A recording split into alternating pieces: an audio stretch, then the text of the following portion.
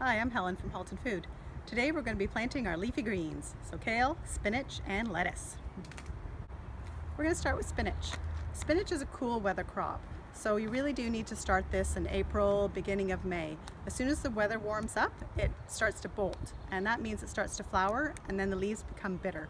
So you need to plant this nice and early in the spring, as soon as the soil can be worked.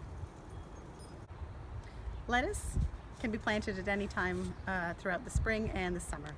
It really is, you want to start this in the spring, but you can still plant throughout the summer. Again, you want to make sure, like spinach, that it doesn't flower because again, the leaves will go bitter. But uh, as long as the weather conditions are favorable, you can plant this throughout. For lettuce, you want to probably plant your leaf lettuce more than your iceberg or romaine. And that's simply because leaf, leaf lettuce is a lot easier to maintain and to harvest and to plant. The longer you have to have a vegetable in the garden, if you're doing organic gardening, that's when it's going to be susceptible to bugs and then it's not going to be as edible for you as a consumer. Kale is like lettuce. You can plant it in the spring, summer, and again in the fall if you want another crop before the winter hits. With kale, you can harvest when it's uh, little tiny leaves and use it in salads, or you can wait until the first frost and the leaves will come a little bit sweeter and you can use it in soups and stews.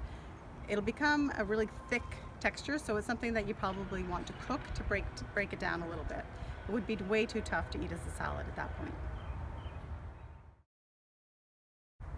Lettuce seeds are very tiny, so you want to plant these quite shallow. This again, it's about half a centimeter. And so, like the other things I've been planting in this square foot garden, I can do three rows where I just take a pinch of the lettuce seeds and I sprinkle it down.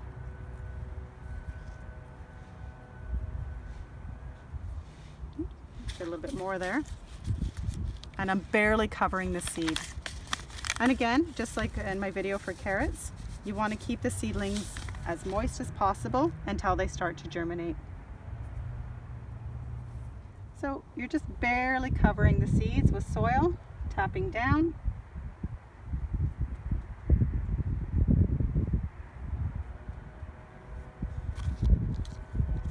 again, remember to label.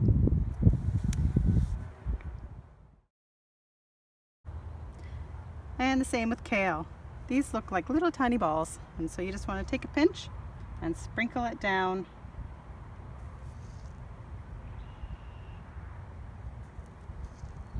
your three rows.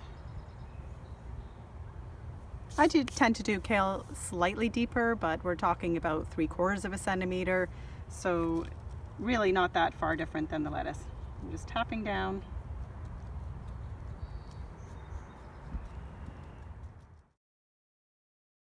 Spinach seeds, as you can see, are a little bit bigger than lettuce seeds and kale seeds, so they can be planted about two centimeters deep. For these, you can just take a pinch and sprinkle down the row like we did with kale and spinach, but since they are a little bit bigger, you can afford to space these out.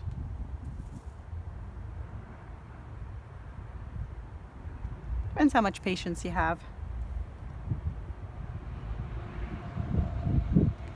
I think I'm still gonna pinch them and take a pinch and, and sprinkle down like a like you would for salt in a meal.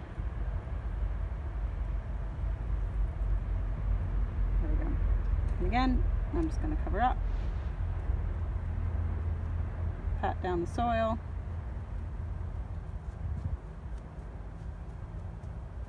Label, and water.